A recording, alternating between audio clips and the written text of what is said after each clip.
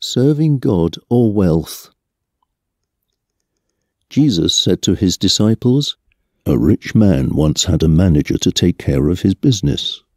But he was told that his manager was wasting money, so the rich man called him in and said, What is this I hear about you? Tell me what you've done. You're no longer going to work for me. The manager said to himself, What shall I do now that my master is going to fire me? I can't dig ditches, and I'm ashamed to beg. I know what I'll do, so that people will welcome me into their homes after I've lost my job. Then, one by one, he called in the people who were in debt to his master. He asked the first one, How much do you owe my master? A hundred barrels of olive oil, the man answered. So the manager said, Take your bill and sit down and quickly write fifty.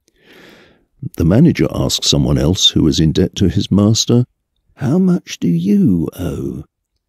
A thousand sacks of wheat, the man replied.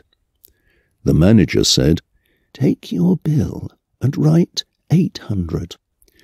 The master praised this dishonest manager for looking out for himself so well. And that's how it is.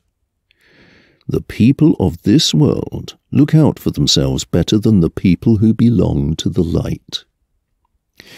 My disciples, I tell you to use wicked wealth to make friends for yourselves. Then, when it is gone, you'll be welcomed into an eternal home. Anyone who can be trusted in little matters can also be trusted in important matters. But anyone who is dishonest in little matters will be dishonest in important matters. If you can't be trusted with this wicked wealth, who will trust you with true wealth? And if you can't be trusted with what belongs to someone else, who will give you something that will be your own? You can't be the slave of two masters.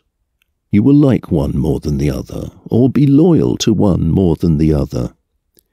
You can't serve God and money.